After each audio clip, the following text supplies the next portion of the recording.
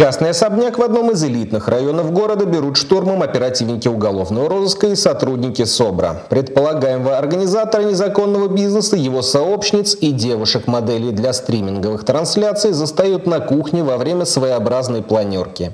Производит следственной часть Следственного управления Управления Министерства внутренних дел России по городу Саратову находится уголовное дело, возбужденное 10 марта 2022 года по признакам преступления, предусмотренного пунктом АБ части 3 статьи 240 42 Уголовного кодекса Российской Федерации.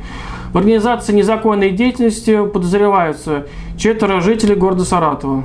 По версии следствия, основатель подпольных студий, 32-летний житель Саратова, помимо общего руководства незаконной деятельностью, выполнял организационно-распорядительные и административно-хозяйственные функции.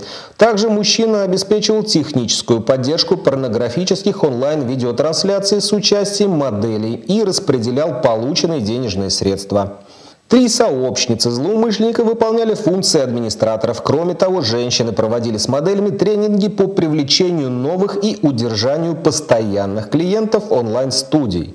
Установлено, что основными потребителями порнографического видеоконтента являлись граждане иностранных государств. Клиенты наблюдали в режиме онлайн за моделями и стимулировали их денежными переводами на откровенные действия. В ходе проведения обысковых мероприятий полицейскими изъята компьютерная техника, видеооборудование, финансово-хозяйственная документация и различные интимные принадлежности, использовавшиеся в качестве реквизита при проведении онлайн-трансляций. Денис Желтов, Андрей Багаев, дежурная часть, Саратов.